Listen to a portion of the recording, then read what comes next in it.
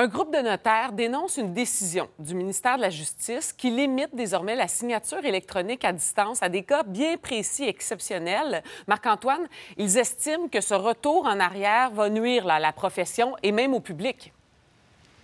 Oui, voilà, Véronique, on s'est rendu un peu plus tôt ce matin dans un cabinet de notaire à Montréal parce que depuis le 24 octobre dernier, euh, il n'est plus possible de signer à distance des actes notariés comme c'était le cas durant euh, la pandémie, sauf dans certains cas exceptionnels. On parle de situations graves comme des maladies graves, par exemple. Alors, en majorité, toute signature doit se faire euh, physiquement comme c'était le cas avant la pandémie parce qu'évidemment, avec la pandémie, ben, ça a dû changer certaines habitudes, dont le fait de signer à distance pour éviter les contacts. Ce n'est plus possible depuis le 24 octobre dernier et ça suscite une, une certaine grogne chez euh, certains notaires au Québec. On souhaite que cette loi soit révisée, évidemment, euh, et surtout que cette loi soit plus accessible. C'est l'un des objectifs, d'ailleurs, du ministère de la Justice et on ne croit pas, selon le notaire rencontré, qu'on remplit bien euh, cet objectif. Écoutons-le.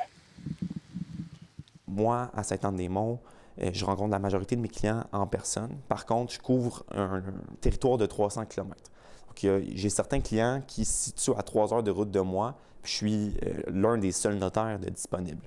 Donc, parfois, ça peut être ça pourrait être pertinent justement de pouvoir utiliser la signature à distance pour pouvoir euh, euh, faciliter pour ces gens-là justement l'accès à un notaire. Et le ministère de la Justice n'entend pas revoir la loi, Marc-Antoine? Non, pas pour le moment. Ce que le cabinet nous a dit, c'est que euh, de signer à distance n'est pas une pratique courante à l'international et que ça comprend certains risques de sécurité. Nous dit également bon, être conscient de certaines situations personnelles plus difficiles, mais que la solution adoptée qui offre la possibilité de signer à distance dans certaines circonstances est équilibrée. Ce n'est pas l'affaire, évidemment, des oppositions. Écoutons le Parti libéral.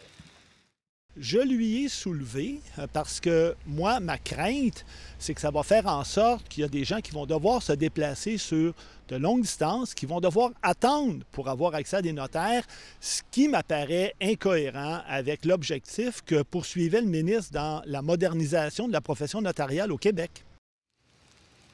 Alors, ce que souhaitent ici les notaires, Véronique, c'est de retirer le critère exceptionnel de cette loi. Merci pour les détails, Marc-Antoine. Au revoir.